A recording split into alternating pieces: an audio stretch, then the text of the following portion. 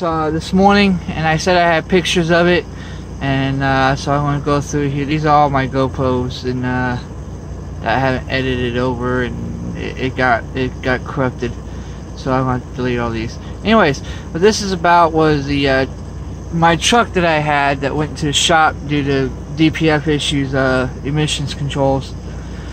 So, uh, backstory real quick. I made a video about it. If you want to uh, go check that out, go ahead.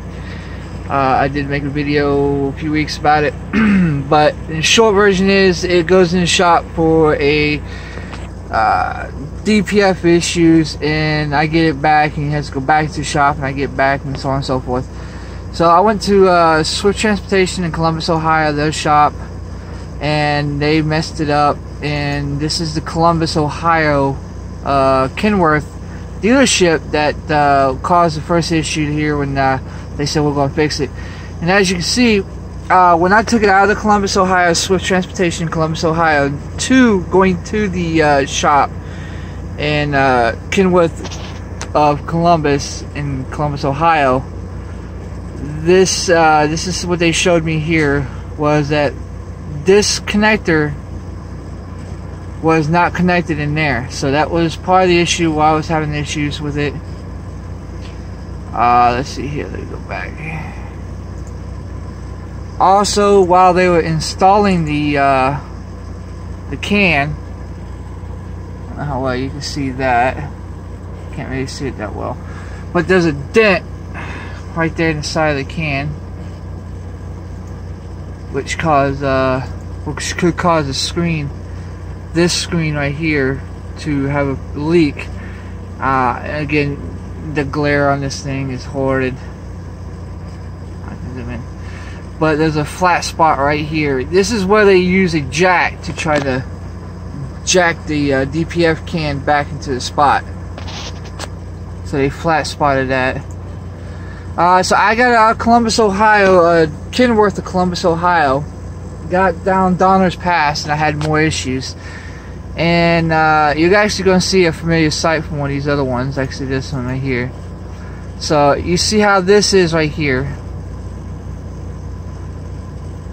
That's uh, this is right here is the uh, DPF uh, uh, fuel line right here. This is the fuel line, which goes so DPF flows through here, into here, and comes out here. This is the uh, pump for it, and it pumps it right into the uh, filter where it burns it off. Ah,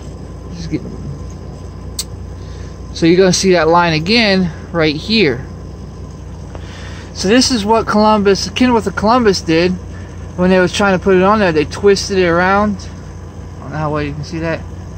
They twisted it around broke and cracked it. So that line had to be replaced.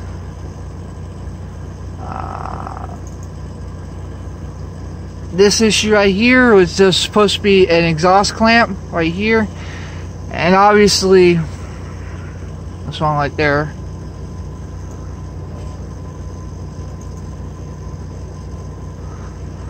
I'm missing a nut here, a bolt here, and there's only one bolt there holding the thing up. This is the only bolt and strap that was holding the entire emissions up. So if that would have fell, my entire uh, exhaust would have fell out.